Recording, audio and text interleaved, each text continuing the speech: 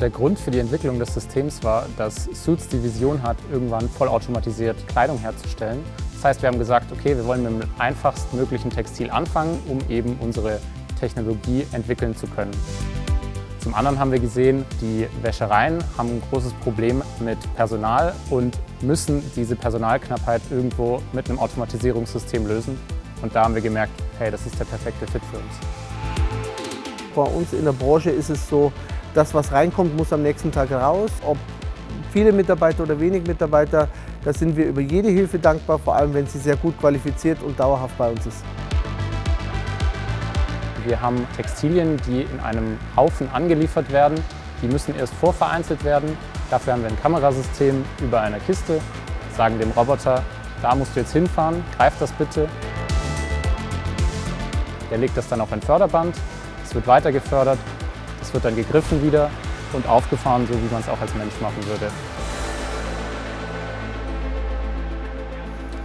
Warum wir uns für Farnok entschieden haben? Weil Farnok von Anfang an an unser Produkt geglaubt hat. Wir haben am Anfang der Entwicklung mit mehreren Roboterherstellern gesprochen und Farnok hat von Anfang an diese Innovationsfreude gezeigt und hat uns dann auch Roboter zur Verfügung gestellt, um einen Prototyp zu entwickeln und wir haben uns einfach sehr gut gefühlt. Auf der anderen Seite war für uns wichtig, dass wir einen hochzuverlässigen Industrieroboter in dieses System bringen. Im industriellen Wäschereiumfeld haben wir sehr mit Staub zu kämpfen, sehr aggressiver Staub. Und Farnuk mit seinen langjährig erprobten Robotern und dem zuverlässigen Service hat uns einfach überzeugt.